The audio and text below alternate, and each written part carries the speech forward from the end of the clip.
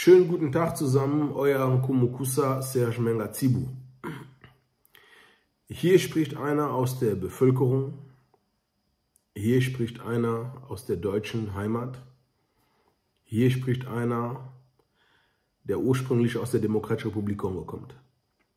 Die meisten meiner Follower wissen das. Ein Beispiel zeigte gerade negativ und intensiv auf, was passiert, wenn ein Wandel in der Bevölkerung stattfindet. Diese Beispiele haben wir in der Vergangenheit in Deutschland erlebt, mit Rufen und andere, durch Angriffe, Messerattacken und so weiter. Aber ein ganz, ganz negativer, negatives Beispiel, Entschuldigung, sind wir gerade in Großbritannien, in England. Jetzt werden sich meine Kritiker sagen, mein Gott, jetzt ist rausgekommen, es ist ein Dunkelhäutiger da und da geht der Schwarte aus Essen hin und will das im Grunde genommen zu seinem Thema machen. Diese Menschen haben eine Sache nicht verstanden. Und ich würde fast schon sagen, ich würde mir wünschen, die würden in unserer Haut stecken in, unter meiner Haut stecken als Migrant und Dunkelhäutiger und auch andere Migranten, die eine andere Couleur haben, um zu verstehen, was solche Meldungen mit uns machen. Ja, er ist in England geboren. Er ist mit seinen Eltern dort. Er ist 17 Jahre alt. Er ist dunkelhäutig. Jetzt werden einige Träumer da draußen sagen, ja Herr Menger, aber seine Couleur sollte doch gar keine Rolle spielen. Das ist doch egal. Das hätte doch genauso ein Engländer machen können. Natürlich. Das wäre deshalb nicht weniger schrecklich gewesen. Wenn wir aber sagen, dass ein Rechtsruck stattfindet, weltweit und nicht nur in Europa, und diese Menschen, die diesen negativen, rechtsextremen Rechtsruck befürworten, die schauen wohl auf die Herkunft, und die schauen auch auf die Hautfarbe. Ja, lass uns bitte einen trockenen Wein trinken, damit wir ganz trocken und sachlich diese Sache wirklich mal uns gemeinsam anschauen. Und ja, es spielt einen Unterschied. Definitiv. Es macht einen ganz, ganz, ganz großen, gewaltigen Unterschied, weil es geht um die Wahrnehmung der Menschen. Wäre es einmal in zehn Jahren passiert, dass solche Sachen uns im Grunde genommen entgegenspringen in den Nachrichten, was Messerattacken angeht und und und, Gewalt von außen, von Menschen, die als Migrant in Europa eingekommen, reingewandert sind, dann würde da gar nicht so ein, so, so dann würde man das gar nicht so krass behandeln. Dann würden wir uns alle in den Arm nehmen, Schulter an Schultern und um die Toten trauern. Das passiert weltweit.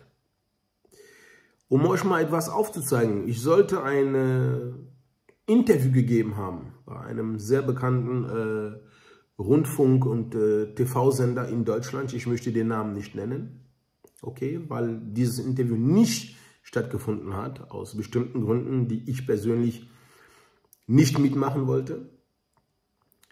Aber was ganz, ganz wichtig ist, habe ich bei dem Thema mit dieser Frau, deren, dessen Namen ich auch natürlich auch nicht nenne, macht man nicht, das ist unfair, okay? Die mir sagte, Herr Menger, Sie behandeln in Ihren Videos, posten Sie immer Links mit Statistiken, die aber alle falsch sind. Ich sage, Moment, was meinen Sie denn, die sind alle falsch?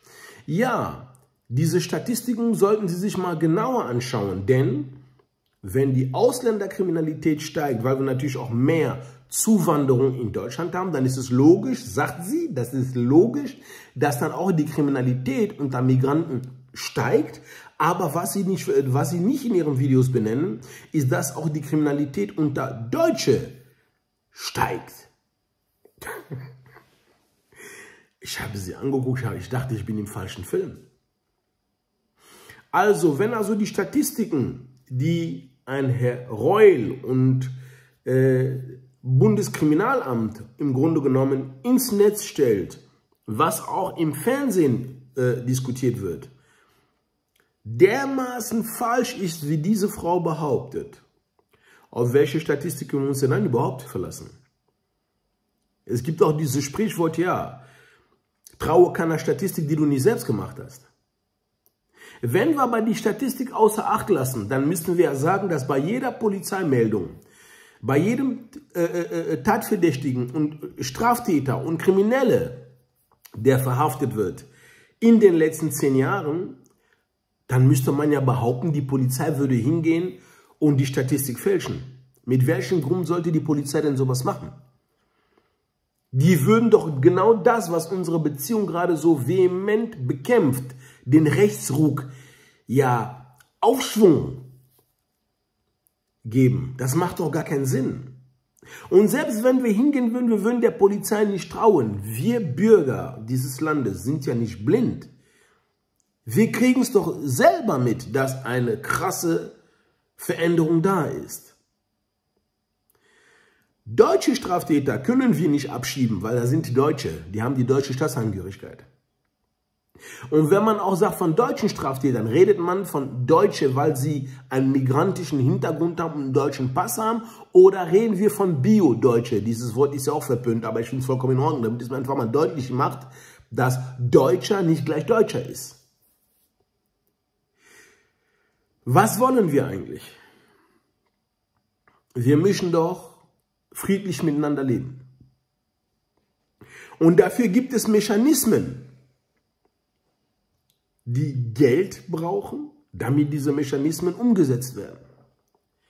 Anstatt Geld zu verballern in einem Krieg Russland-Ukraine, wo wir alle wissen, ich weiß es, dass die Ukraine diesen Krieg nicht gewinnen kann, konnte sie von Anfang an nicht, gesehen einem Riesen wie Russland, wo Milliarden hingeballert werden, ohne Lösung. Schaut mal, wie lange dieser Krieg schon geht und man es nicht schafft, einen Dialog auf die Beine zu stellen, damit dieses sinnlose Getöte einfach aufhört von beiden Seiten.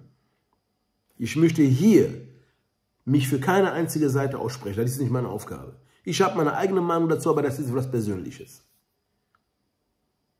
Dann könnte man lieber hingehen und Milliarden dafür investieren, dass unsere Polizei gestärkt wird, dass die mehr Personal bekommt, dass der Grenzschutz gestärkt wird, damit Kontrollen stattfinden, wodurch wir ganz genau wissen, wir haben wie bei der Europameisterschaften, Fußball-Europameisterschaften, so viele Schleuser und illegale Einwanderer abhalten können. Was nicht bedeutet, dass diese Menschen kein Recht auf Asyl bekommen sollen. Aber das muss man koordinieren damit die Menschen nicht mit Boote über See herkommen und sterben, unterwegs verhungern, vergewaltigt werden, auch ausgeraubt werden. Ja, darüber redet man im Fernsehen auch kaum.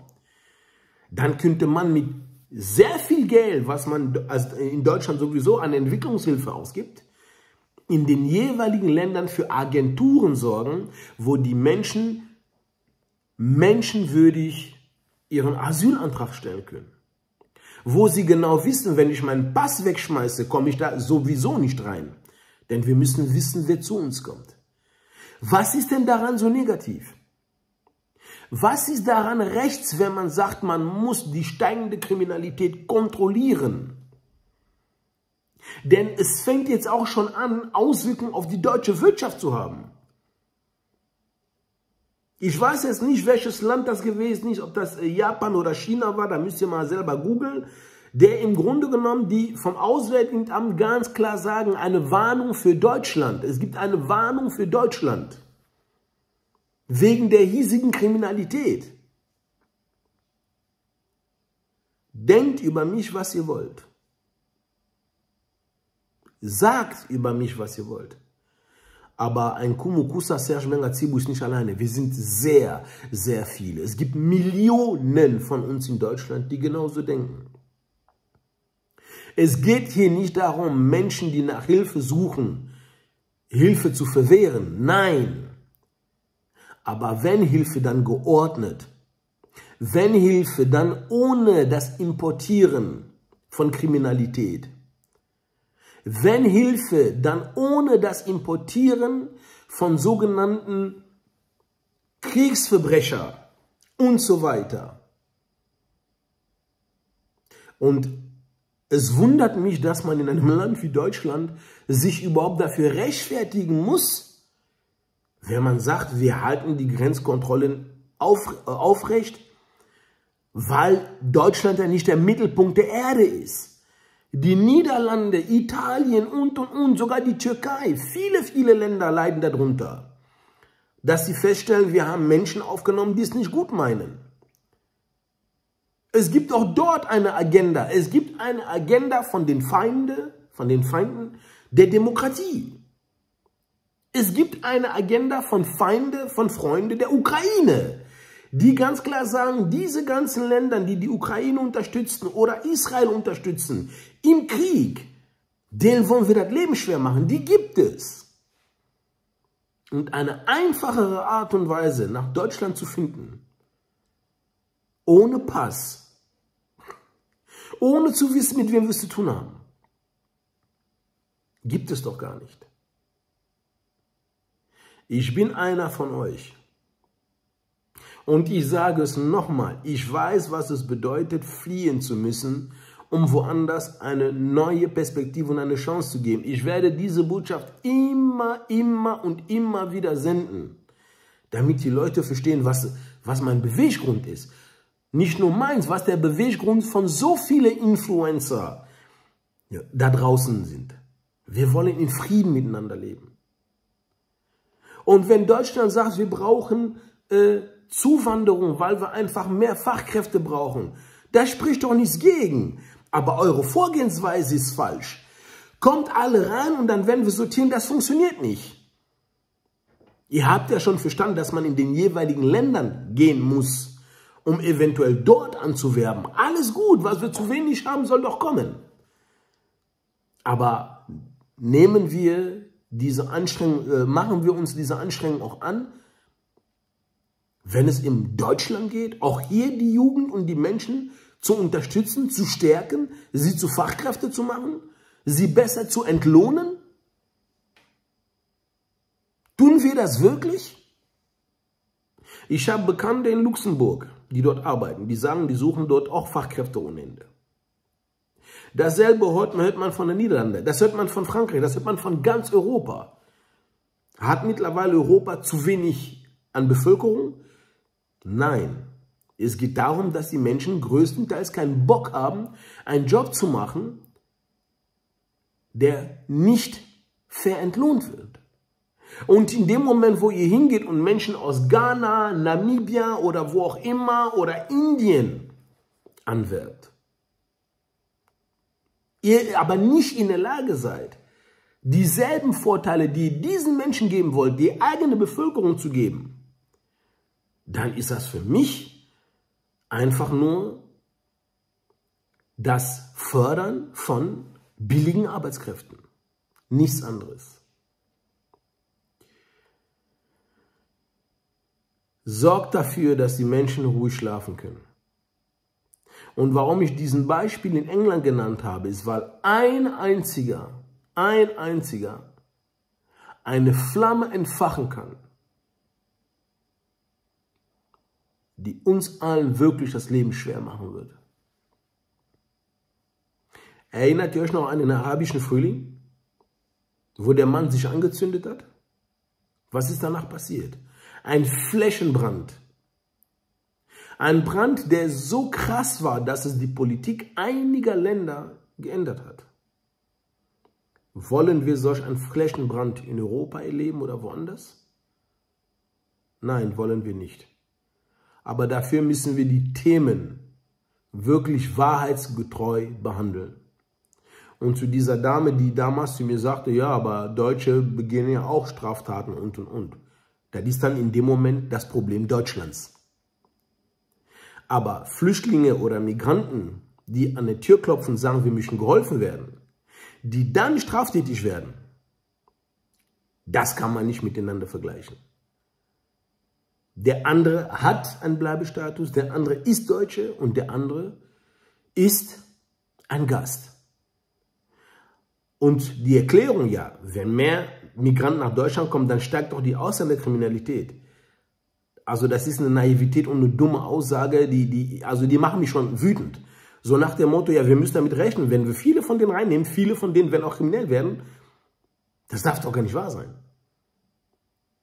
Wenn es nach rechten Dingen zugehen würde, dann müsse der prozentuale Anteil an Ausländerkriminalität, eingewanderte Ausländerkriminalität, viel, viel geringer sein als die Kriminalität unter sogenannten Deutschen. Habt den Mut, die aktuelle Veränderung in die Augen zu sehen. Denn jeder von uns ist jetzt wirklich gefragt, die Ruhe zu bewahren.